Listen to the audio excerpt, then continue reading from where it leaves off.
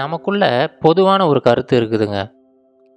நம்ம மக்களில் பல பேர் பார்த்தீங்கன்னா அவங்கக்கிட்ட இருக்கிற அந்த திறமைகள் அவங்கக்கிட்ட இருக்கிற நல்ல விஷயங்களை பற்றி எப்போவுமே ஒரு மாதிரி தாழ்வு மனப்பான்மையாக தான் இருப்பாங்க.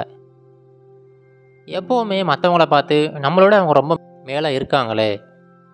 நம்மளோட திறமையானவங்களாக இருக்காங்க. நம்மளோட வந்து செல்வாக்கில் அதிகமாக இருக்காங்க. நம்ம செய்கிற வேலையோடு அவங்க நல்ல வேலை செய்கிறாங்க நம்மளுடைய பணத்தில் அதிகமாக இருக்காங்க நான் பெரிய வீடு வச்சுருக்காங்க அப்படின்னு சொல்லி பலவிதமான எண்ணங்கள் நமக்குள்ளே தோன்றிக்கிட்டே இருக்கும். இயல்பாக எல்லா மனிதர்களுக்குமே இந்த எண்ணங்கள் தோன்றும். இப்படி தோன்றுனா அந்த எண்ணங்கள்லேருந்து எப்படி விடுபடுறது? நம்ம உண்மையிலேயே மற்றவங்க கூட கம்பேர் பண்ணி தான் வாழ்ந்துக்கிட்டு இருக்கோமா? இல்லை கம்பேர் பண்ணுறதுனால உண்மையிலேயே நல்லது நடக்குதா? அப்படின்னு சொல்லிட்டு ஒரு குட்டி கதை மூலமாக பார்ப்போம். முன்னொரு காலத்தில் ஒரு ஜென் துறவி ஒரு ஆசிரமத்தில் வாழ்ந்துக்கிட்டு வந்தார். ஒரு நாள் ஒரு மனிதர் அவரை சந்திக்கிறதுக்காக வந்திருந்தார். அந்த மனிதர் வந்து அந்த ஜென் துறவிக்கிட்ட ஐயா என்னுடைய வாழ்க்கையில் நிம்மதியே இல்லாமல் இருக்குது நான் எப்போவுமே மற்றவங்களோட வாழ்க்கையை பார்த்து அதுபடி நம்ம வாழ முடியலையே அப்படிங்கிற எண்ணத்திலே தான் வாழ்ந்துக்கிட்டு இருக்கேன். இதனால் ஒவ்வொரு நாளுமே எனக்குள்ளார கவலைகள் அதிகமாகிட்டே போய்கிட்டுருக்கு இப்போ இதுலேருந்து எப்படி விடுபடுறதுனே தெரியலங்க ஐயா. இப்போ நாளடைவில் பார்த்தீங்கன்னா அந்த மனக்கவலை அதி அதிகமாகிட்டே போயிடுச்சு. என்னால் நிம்மதியாக சாப்பிட கூட முடியல. ஏதாவது ஒரு எண்ணங்கள் எனக்குள்ளே வந்துக்கிட்டே தான் இருக்குது அதுலேருந்து விடுபடவே முடியல.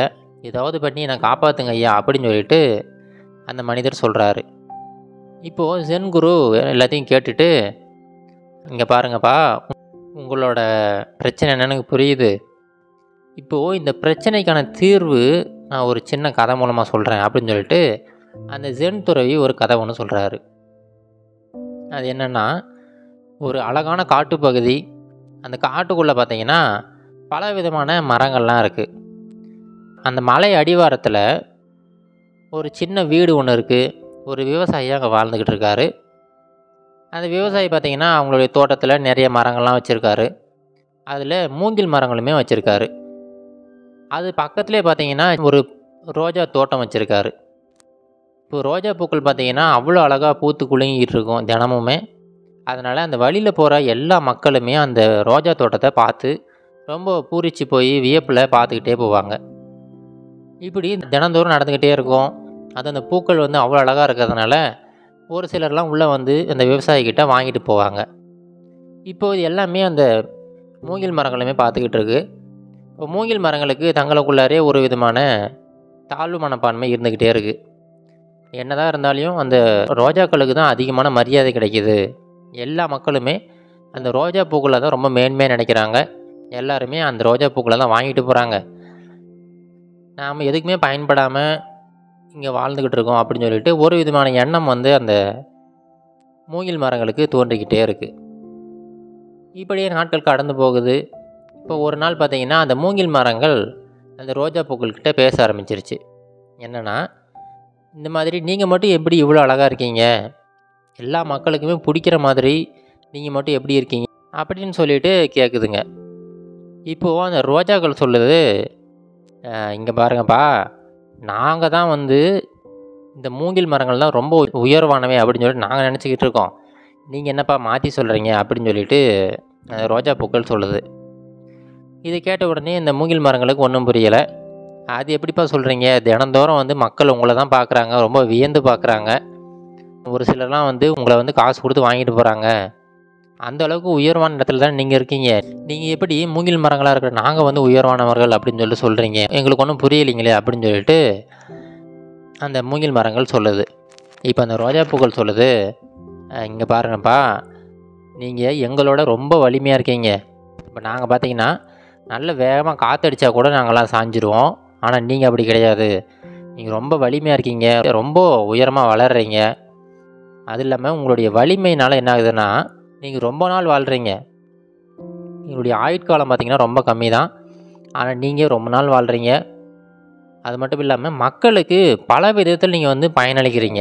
இப்போது நீங்கள் சின்னதாக இருக்கும்போது உங்களை வந்து வெட்டினாங்கன்னா அதை கொண்டு போயிட்டு தண்ணீர் சேகரிக்கிற அந்த பாட்டில்களை மாற்றுறாங்க அதுக்கப்புறம் நீங்கள் பெருசானதுக்கப்புறமா உங்களை வெட்டி கொண்டு போயிட்டு படகுகள் செய்கிறாங்க அப்புறம் வீடுகள் செய்கிறாங்க அப்படின்னு சொல்லிட்டு பலவிதமான பயன்பாடுகளுக்கு உங்களை பயன்படுத்துகிறாங்க ஆனால் எங்களை அப்படி இல்லை. மக்கள் வந்து ஒரு அழகு சாதன பொருளாக தான் எங்களை பார்க்குறாங்க எங்களை என்ன தான் காசு கொடுத்து வாங்கிட்டு போனாலுமே ஒரு ரெண்டு நாள் அப்படிலாம் ஒரு நாள் அவ்வளோதான் எங்களை வச்சு பராமரிப்பாங்க. அதுக்கப்புறம் எங்களை தூக்கி குப்பை தொட்டியில் போட்டுருவாங்க. இது எப்போவும் நடக்கிறது தான் அதனால தான் நாங்கள் வந்து எப்போவுமே உங்களை பார்த்து நாங்கள் ரொம்ப வியந்து போயிருக்கோம். மக்கள் வந்து உங்களை அதிகமாக கவனம் செலுத்தினாலுமே நீங்கள் உண்மையிலே ரொம்ப உயர்வானவர்கள் தான். மக்களுக்கு பல விதத்தில் பயன்படுறீங்க அப்படிங்கிற எல்லாமே சேர்ந்து சேர்ந்து எங்களுக்குள்ளார உங்களை பற்றி ரொம்ப உயர்வான எண்ணங்களை வந்து உருவாக்கி வச்சுருக்கு அப்படின்னு சொல்லிட்டு அந்த ரோஜாக்கள் சொல்லுது. இதை கேட்டதுக்கப்புறம் தான் அந்த மூங்கில் மரங்களுமே யோசிச்சு பார்க்குதுங்க. ஆமாம்ல நம்மளை வச்சு பல விதமான பயன்பாடுகள் இருக்குது நம்ம ரொம்ப உயரமாக வளர்கிறோம் ரொம்ப வலிமையாக இருக்கும் அப்படின்னு சொல்லிட்டு அவங்களோட உண்மையான அந்த திறமைகள் அப்போ தான் அந்த மூங்கில் மரங்களுக்கே தெரிய வருது. இப்போ அதிலிருந்து அந்த மூங்கில் மரங்கள் எப்போவுமே தாழ்வு மனப்பான்மை நினைக்கிறதே கிடையாது. ரொம்ப மகிழ்ச்சியாக இருக்குதுங்க. எப்போவுமே அவங்கக்கிட்ட இருக்கிற அந்த பயன்பாடுகளையும் அவங்கக்கிட்ட இருக்கிற அந்த திறமைகளையும் நினச்சி ரொம்ப வியந்து ரொம்ப மகிழ்ச்சியாக வாழ்ந்துக்கிட்டு இருக்குதுங்க. இப்போ இந்த கதையை ஜென் குரு அந்த மனிதர்கிட்ட சொல்கிறாரு சொல்லி முடிச்சுட்டு இங்கே பாருப்பா இந்த கதையில் சொன்னது போல தான் நாம் எப்போவுமே மற்றவங்ககிட்ட இருக்கிற அந்த திறமைகள் மற்றவங்ககிட்ட இருக்கிற பொருட்களை வச்சு தான் நம்ம வந்து மதிப்பிட்டுக்கிட்டு இருக்கோம். ஆனால் நம்ம நம்மளுடைய வாழ்க்கையில் எத்தனை பேருக்கு பயன்படுறோம் அப்படிங்கிறத நம்ம வந்து யோசித்து பார்க்குறதே கிடையாது. நீ நல்லா யோசிச்சுப்பார் நீ செய்கிற வேலையாக இருக்கட்டும் இல்லை உன்னுடைய திறமைகளாகட்டும் உன்னுடைய குணநலங்களாகட்டும் மக்களுக்கு பலவிதமான பயன்பாடுகளை கொடுத்துக்கிட்டு இருக்கோம். அது எல்லாமே நீ தான் வந்து ஆராய்ஞ்சு பார்க்கணும். எப்போ நீ சரியாக ஆராய்ஞ்சு உன்னுடைய உண்மையான பயன்பாடுகள் எல்லாமே நீ தெரிஞ்சுக்கிட்டீன்னா எப்போவுமே இந்த தாழ்வு மனப்பான்மை அப்படிங்கிறது ஒன்று வரவே வராது. எப்போவுமே உன்னை நீயே உயர்வாக நினைக்க ஆரம்பிச்சிருவ. அப்படி நீ உயர்வாக நினைக்க ஆரம்பிச்சின்னா வாழ்க்கையில் எப்போவுமே ரொம்ப மகிழ்ச்சியாக வாழலாம் அப்படின்னு சொல்லிட்டு சொல்லி அனுப்பி விடுறாரு. இது போல தாங்க நம்ம வாழ்க்கையிலையும் இந்த மாதிரி எண்ணங்கள் நமக்குள்ளே இருந்துக்கிட்டே இருக்கும். நம்ம மற்றவங்கள பற்றி கம்பேர் பண்ணிக்கிட்டே இருக்கிறதுனால நம்மளை வந்து ரொம்ப குறைவாக எடை போட்டுக்கிட்டே இருக்கோம். ஆனால் ஆக்சுவலாக நமக்குள்ளருமே பல திறமைகள் இருக்குது நாமளுமே இந்த சமுதாயத்துக்கு பல விதமான நன்மைகளை செஞ்சுக்கிட்டு தான் இருப்போம். இது எல்லாத்தையும் நம்ம சரிவர ஆராய்ஞ்சு நம்மளை நாம எப்போ நம்ம சரியானபடி பரிசோதித்து பழகுறோமோ அப்போ தான் நம்மளுடைய உண்மையான திறமைகள் நம்மளுடைய உண்மையான பயன்பாடுகள் எல்லாமே தெரிய வரும். அப்படி நம்மளுடைய பயன்பாடுகள் என்ன அப்படிங்கிறத சரியானபடி தெரிஞ்சு வச்சுக்கிட்டோம்னா இந்த தாழ்வு மனப்பான்மை அப்படிங்கிறது எப்போவும் நம்மளுக்கு வராதுங்க. ஏன்னா எல்லாருமே ஒவ்வொரு விதத்தில் இந்த சமுதாயத்துக்கு பயன்பட்டுக்கிட்டு தான் இருப்பாங்க. எல்லாருமே ரொம்ப தனித்துவமான முறையில் பயன்பட்டுக்கிட்டு தான் இருப்பாங்க. இதை மட்டும் ஞாபகம் வச்சுங்க. எல்லா மக்கள் உயர்வானவர்கள் தான். ஆனால் அது எந்த விதத்தில் உயர்வானவர்கள் அப்படிங்கிறத நாம் தான் தேடி கண்டுபிடிக்கணும். அதை விட்டுட்டு நம்ம எப்போவுமே கம்பேர் பண்ணிக்கிட்டே இருந்தோம்னா இந்த தாழ்வு மனப்பான்மைங்க எப்போவுமே நமக்குள்ளே இருந்துக்கிட்டே இருக்கும். அதனால் இதை விட்டுட்டு எப்போவுமே உங்களை நீங்கள் சரியானபடி மதிப்பிடுங்க. அப்படி சரியானபடி மதிப்பிட்டுட்டிங்கன்னா கண்டிப்பாக உங்கள் வாழ்க்கையில் எப்போவுமே மகிழ்ச்சியாக இருக்கலாம். தாழ்வு மனப்பான்மை அப்படிங்கிறது எப்போவுமே இருக்காது.